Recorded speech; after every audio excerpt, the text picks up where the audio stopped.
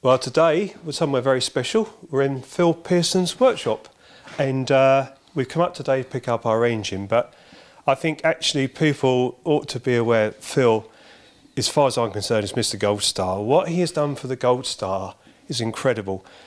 Now, the Gold Star probably run out of production in '63 Yeah.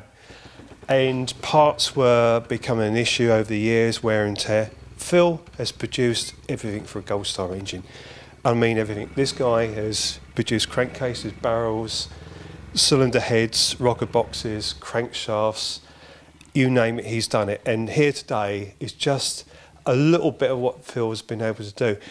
Now, all this sort of work doesn't just happen. I mean, Phil's been doing this for over 40 years and there's a lot of time and it's not just you can imagine you've got drawings to produce castings to have made machining and so much work so I, i've seen a, a little bit of what you've achieved so i really want to just have a look around your workshop and you tell us about your Yeah. machinery and we'll have a look at the engine that's been done and what we had done on that which i think previous videos we said about the crankshaft we had it rebored the mag platform done, but we've had other work done to it as well. So we'll show that as well. But Phil's just going to take us around the workshop. Yeah.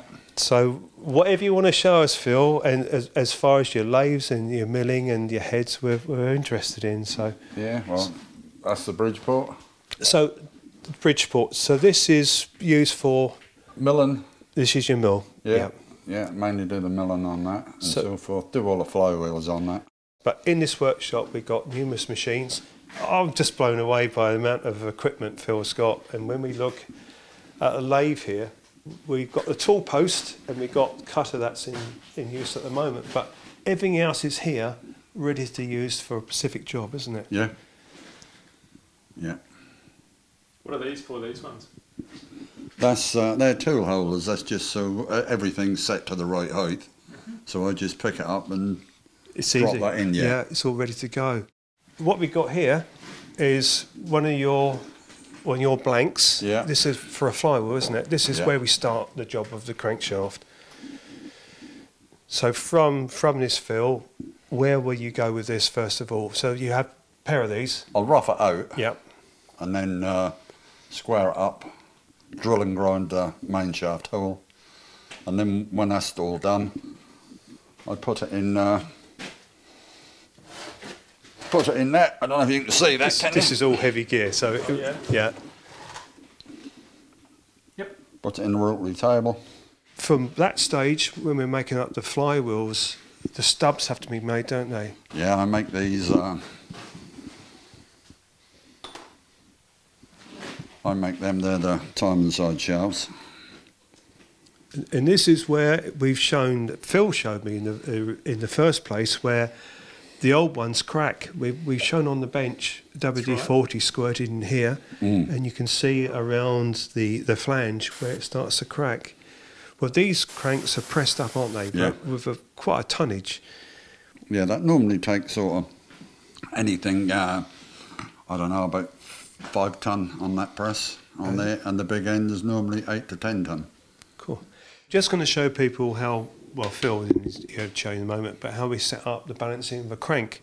So the first thing you're going to measure here is small end, isn't it, Yeah, on the scales? 144, 46. Put it there. This is grams, Phil. Yeah, grams. Yeah, that's the weight of the piston, 483. That come out at 629.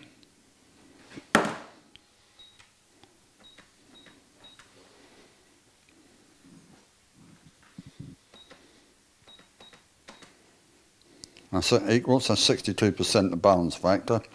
So it's 389.98. So it's 390 roughly. Then you take the piston away from that, or the conrod.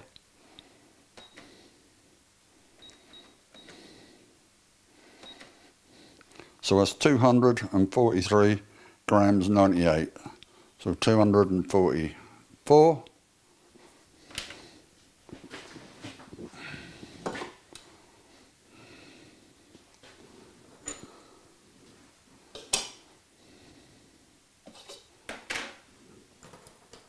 So just explain to what people what you're doing now, Phil. So you're replicating.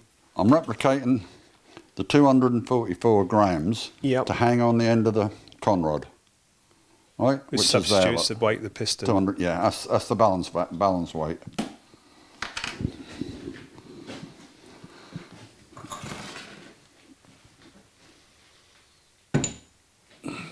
These sleeves are to keep it equal both sides. I'll just put this down. Dave, you could um, put the mic near Phil so we can hear him. Yeah.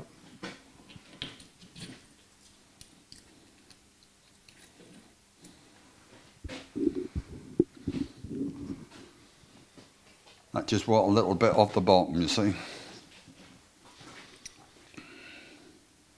Explain to us how this works, because I've Well, if you before. yeah, if you don't have the weight on it, that'll just shoot up the top, like, yeah. Yeah.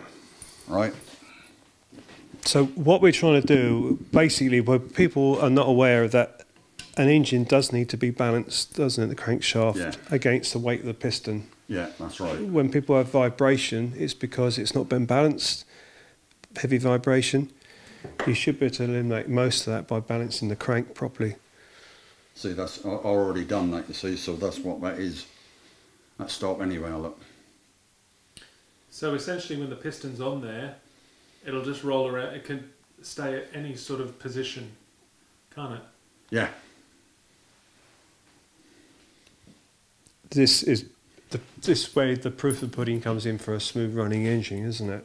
Without Uh, the that can vibration. do, but um, that's only uh, a compromise because um, sometimes if you um, balance them, if it's in a different frame, that'll want a different uh, different balance factor. Like if I do it in a Norton frame, it's normally sixty six percent, and the Seeley's sixty six percent. Really? Just with the Gold Star engine, yeah. Yeah, but I find they're best at 62 with them flywheels. The original was 58. Something that Phil was telling us, he, he's recently had an engine that um, was stripped down. That belonged to my mate. That must be the third crank I made. This, had? this one here. And Yeah. it's not been stamped up with a number because you've stamped all your That's cranks right. now. Well, I didn't know how many I was going to make, you see. What are we up to now? 100 nearly? Nine, 960 something. 900. 960 something. 900,000 almost. That's we said incredible. that's 30 years old, didn't we? That crank. Yeah. Yeah. I've been making them for say that. 30 years, yeah. Yeah. Yeah. So that's so quite that's, incredible. that's 30 years old. And funny enough, as I was saying, I was dreading pulling that engine to pieces because that belonged to my mate. And he died, passed away. And uh, somebody bought it off him, he's local. And he said he was going to pull it to pieces. And I thought to myself, uh, I'd be lucky if that ain't knackered. Does that make a difference, knackered? and uh, I, I, all I've done is put a new roller bearing in there, needle roller, and uh, he, he's even got to use the old valves, and he's That's done he's done a lot of miles on that. And you were saying he's not the he doesn't do a lot of maintenance, or your mate who owned the bike didn't do a lot of maintenance. He was the did worst of a lot. He was Yeah. for maintenance. So you start from cold and run this road down the road, and it would be a dual carriageway. Yeah, Within a few minutes, you just wind it up yeah. and go. I couldn't believe. I couldn't believe it actually. I couldn't believe the condition that was in. That was okay. That's incredible. I, I, I forgot that you built so many crankshafts. Um, yeah, it's incredible. But all these crankcases, like you've replicated these two, haven't you, as well? You've done, like say, everything. And when you look at these castings, uh, it's a lot of work. You know, Well, this one I've done the mag platform on that. this is a, a, a, a regular thing, isn't it, that comes Yeah. into you. The mag platform being here with the mag sets, this will wear quite badly And uh, because it's only strapped down, isn't it? and the oil seal housing. Yeah, these these can wear out, and you've had to build this up a world and remachine this. Yeah, full of weld, yeah. Yeah, and you wouldn't know it had been done now. But the process, you will put this into uh, a, a stripping um, tank, won't you? Yeah, decoke and Decoking tank, you call it. Then it'd be vapor blasted. Vapor blasted, yeah. But lovely finish. Um, well, as I said, Phil, that this is another lathe that's, That's another lathe, yeah. that's set up for doing Pacific work when it Yeah, comes in. I mainly rough the flywheels out on that. This would be the first process that that blank would go on to. Yeah, really. yeah, that'll be the first one, yeah. And again, everything is set up above, so it's all to hand. That's the uh, welder up there, Y- the- Yeah, the TIG welder. TIG, yeah. Yeah. So everything's tick. They're, they're nice little units, aren't they? Now they're, But they, big. they're quite Yeah, good, they are, yeah. Quite good. Also, the oven over there. The oven, Phil. Oh, the oven, the oven, the camping stove. Oh, yeah, that's, that's what I warmed the Just, bits up on, you know, if you put a liner in or anything else. just want to show people the comparison with a standard crank and one of Phil's cranks, and well, Phil explained to you that it's it's completely different. Do you want to just mention about your crank? This is that's the original BSA crank, and uh, obviously that's all riveted in and so forth, and uh, the big end is uh, secured by a nut, whereas these ones are all press fit.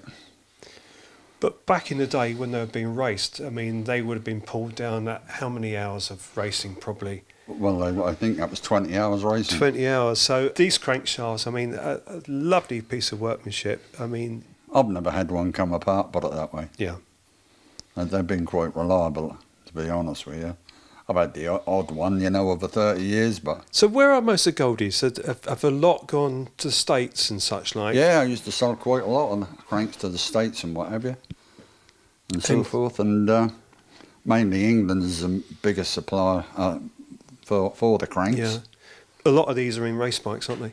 Yeah, there's, there's quite Yeah. a few in the race Yeah. bikes, yeah. And you've been very successful with racing. That's another thing that we we haven't mentioned that you've developed the Gold Star engine Yeah, I've done some short strokes for people and so forth, you know. and you've got some good results too. Yeah, yeah. We'll, we'll show you in a moment when we finish this little bit, a little bit of literature that will show that, which is interesting. I found very interesting anyway. Mm. So that that is a crankshaft there comparison against one of Phil's and a stock one.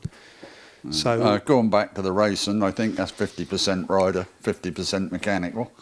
So, uh, a good combination yeah, he was a good rider, good Yeah. rider. and reliability too.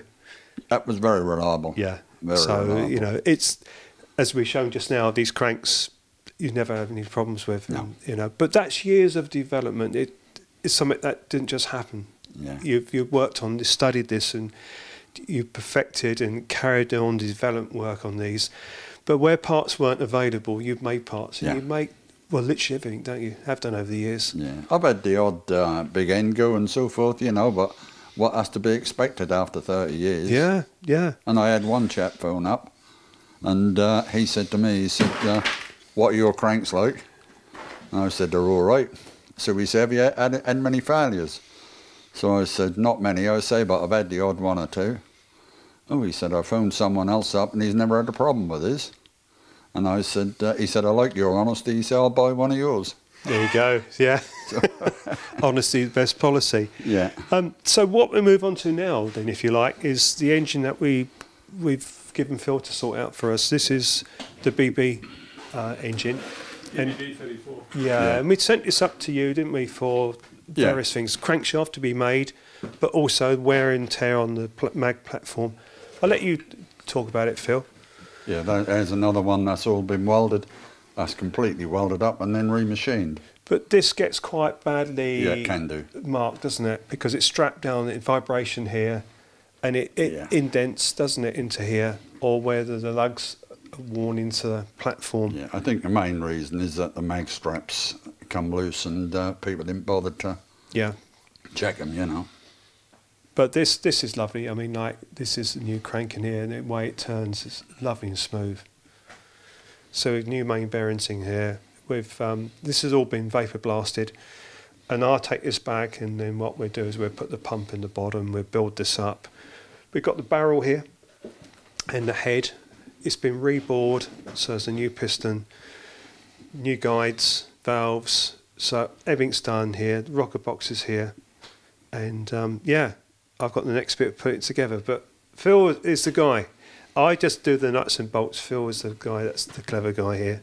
Without Phil, we wouldn't be able to do the gold stars. To be honest with you. Um, so long may you carry on Mm. helping out. I know you don't want to do too much, and, and I'm much the same. I I still enjoy it, but I want to have a bit more time to do other things. But the gold star is close to my heart, and I know it really is close to your Yeah. heart because if anyone's ever owned a Goldie and ridden a Gold Star, they know what we mean because there's right. nothing else like it, is there? Not really. It- I don't think you it can beat a the, Gold Star the a power, the bike. sound, and the handling you get from a Gold Star.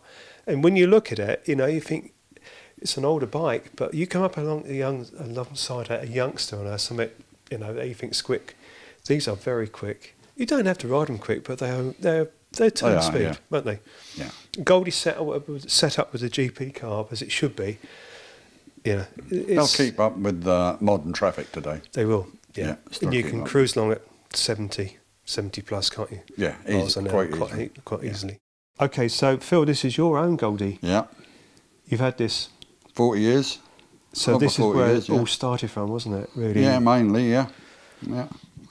I did have one years ago, but it was a 350 and sold that earlier. But um, everything I made, I've put, put in this, tried it before I sell it. Test bed. Yeah, Yeah. So different developments you've done it's gone in here. yeah. So you you're pu- purist as well, aren't you? GP carb. Oh, And- yeah, yeah. yeah. You've, you've got to put a GP carb on them. I think anyone that can ride these still properly, this is what you want on here because uh, inch smooth bore carburetor, isn't that? They suck in a bit of petrol.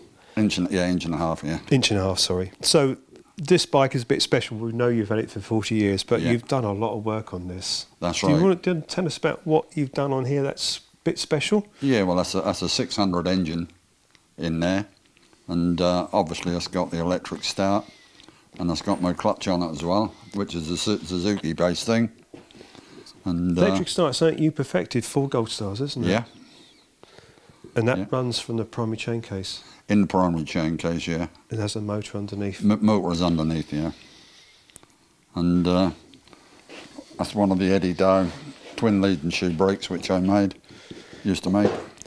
So this brake that you got on here, you actually made one Yeah. that I've got on my Goldie. That's, yeah. Yeah.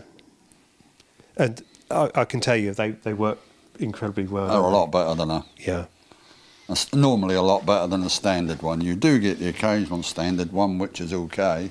It's- only a two finger appliance, isn't it? You can- This, this is yeah, But this this is lovely because it's got the patina about this, and this is how they should be.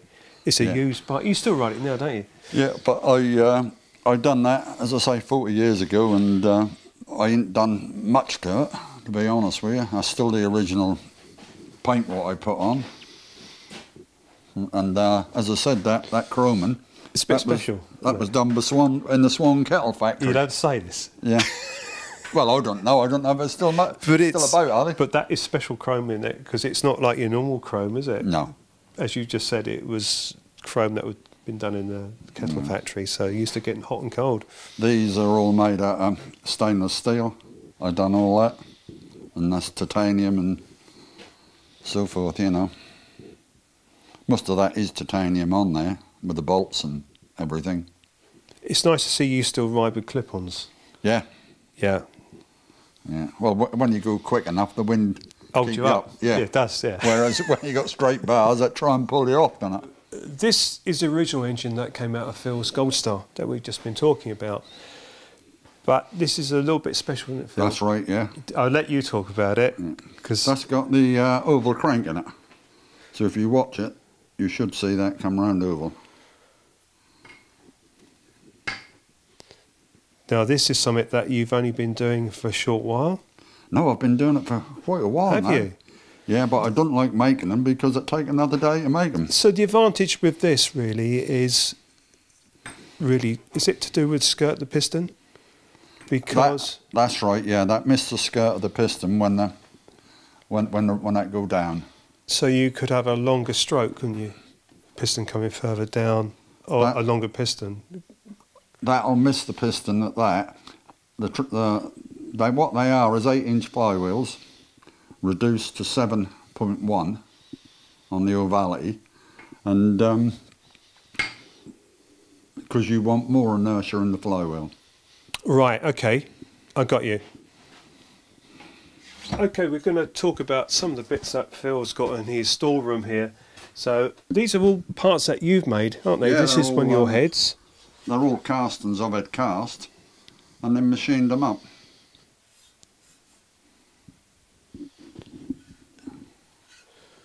That's that's a nice head, isn't it? It's Yeah. been It's slightly altered, hasn't it? Because it's Well- had the fins sort of like Someone's polished, polished it, yeah. up. Yeah. But I just got to do the ports and put the seats in, you know. And we've got up the end. There's a barrel there. That this is one of yours, isn't it? That's for the, that's for my engine out there, yeah. But like all the mag straps up the top here, you've produced those, and Yeah. the tacho drives below we show in a moment. But all these are made out of stainless. They're stainless, yeah. These are the rev counter drives. There's a casting, how it start off with. So you've actually machined that, Yeah. Put all the gearing inside that, produce the gearing as well to go in the whole lot. I buy the gears, You buy the gears. yeah, but make the shafts. That's a lot of work, isn't it, Phil? Yeah. Four four and a half hours to make sort of them if I do sort of ten or twenty at a time. Uh, but if you want the gold star to look right, Yeah, that's right. it's it's all about detail, and you know this is what we've mentioned so many times. It's getting the detail right. It's like the fuel lines as well. The, when they left the factory, and you got some up here, Phil, haven't you? but you've had these made, and Yeah, well I make all the ends up for them and what have you. so that's all nicely knurled. But that's how it would have left the factory, They had them ends on when they left the factory. Yeah. Yeah. and you can't buy those off the shelf. There's only one person that makes those. I think can. so. Yeah. Yeah, but he makes. shelf. There's the B31. So we got various components that you've made. Sometimes you make parts from surplus material that you've cut off, and you think, well, rather than waste it, I'll make something out of that. So that came off um, uh, to do with the oil rigs. That was a bit of uh, piping. so off of B 30, 31 or 33, and Yeah. that is the top collar on the valve um, tunnel, isn't it? That's right. Yeah. So, Phil, These these are a pair of retaining plates, aren't they, for yeah. yeah. I don't think anybody's got them anymore. So uh, they they were turned out of a solid lump rather than make a press. You know, because they were pressed out originally. yeah. That's quite a lot of work in just doing that, isn't it? You It takes time, doesn't it? Good hour. Good hour. Yeah, and this is sometimes where someone holds, holds a component and they go, "Well, how much is that?" and they don't realise how long it's taken to make. Like making the nuts, nuts or bolts, do one-offs. You know what you can charge is a fraction of, of your That's right, time, yeah. really. You're not covered. But none of us do. We don't cover that time it takes, do you? No. If you had 50 to make, it would be more cost effective. But a one-offs are very hard, aren't they? Yeah, as, as, a, as a job finding anybody to make any of this stuff now. Yeah. Because obviously they want to make a hundred or a thousand of them. Yeah. In here, Phil, we've got, well, we're going to talk about this first. Yeah. A pair of crankcases here, the two halves. Now, this is yours, isn't it? Yeah. You've had these made. So you've had the castings done, you've done all the machining yourself. Most of it, yeah. Yeah. And these are the rocker boxes. There's a lot of work in there, isn't there? A hell of a lot of work. Yeah. And these these people will probably realise what that is. Sump plate, yeah. Sump plate that goes on the bottom of the engine. And you can have a drain down on there, can't you? That's right. I, I don't put a magnet in them because the I think the magnet attract all the dirt out of the engine and then it's right in the position for the oil pump to pick it up. Yeah, it's true. Because that, that goes through the filter. Phil, we're just looking here. This this was done some time ago. I know. This shows you shows us, and we can show people here the electric start that you perfected. Yeah. Well, you actually built this as your idea of being able to start a Goldie without using the kickstart. Yeah. So, right in saying that the starter motor is underneath the primary chain case, and the drive for it is in the primary chain case. That's right, yeah. So yeah. So what what actually did you? How did you go about this? Well, I always kept on about electric start, and then a friend of mine who had retired at the time, he said, let's do this electric start. So I said, I'll make it as long as you fit it. do, Fair all enough. The, do all the brackets and what have you. So anyway, uh, between the two of us, we come up with that, you know. And uh, this, uh, this mechanism here, uh, fly back out of the way onto a magnet. But it enables people to carry on riding these gold stars, where if they're going to struggle kickstarting the thing, at least they can use the valve lifter, get it up to rotation, don't they? Then drop That's in the valve lifter, and, and this will start it. So th- this is a good upgrade to keep people riding the Gold Stars. I think if anyone want one, um, I can still start my Gold Star, uh, but I don't want to have to do much more than half a dozen kicks. You know, Get it right, they're usually one or two kicks, aren't they? normally, Yeah. normally. If you get it wrong, we know what they do. They kick That's back, right. don't they? Sometimes. but that's really interesting, and that's some time ago. And what we got here also, which is interesting for people to look at, this shows um, an engine that was on a dyno. The whole bike was on the dyno here, wasn't that it? was, um, yeah, that was the 350, which uh, produced, I think, that was 38 brake horsepower At the back wheel. at the back wheel, yeah, which they equate uh, 10% drop. And, uh, well, it was 38.7. That was the best figure there, look. That's that's quite incredible horsepower, isn't it, on the back wheel? Because we've recently done some dyno testing on a parallel twin 650. Yeah. which was just making barely just over 40, 43, I think, horsepower. Mm. 350 single is quite incredible. That's 350. And the 500, um, that is there at 50.7, uh, fitted with a Gardner carburetor. Um, with uh, a GP2 carburetor, that was down to 48.9. What RPM are we looking at here? Well, that's that nearly Six and a seven- half Six and a half, yeah. That's uh, it, really impressive figures. Yeah, they, they, they will rev more, but uh, the trouble of it is that if you ain't producing more brake horsepower but the higher revs, there's no point in no, revving it. because the power curve goes Yeah, off, doesn't it? yeah, just drop off. Yeah. And you've actually set up several, well, several of your engines have been used in, in competition work, and I know a, a race bike has done fairly well in the Isle of Man. And what we're going to come on to now is in 2012, we got here Pearson Racing Calendar. This is an achievement in the season, wasn't it?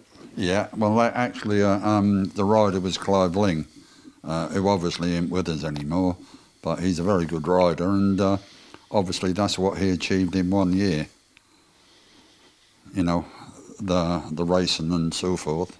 I mean, to have 41 race wins and 63 podium finishes and seven new world lap, um, uh, new lap records, that's quite incredible, isn't it? Yeah, he he won the 350 uh, Belgium TT and the 500 Belgium TT on it as well.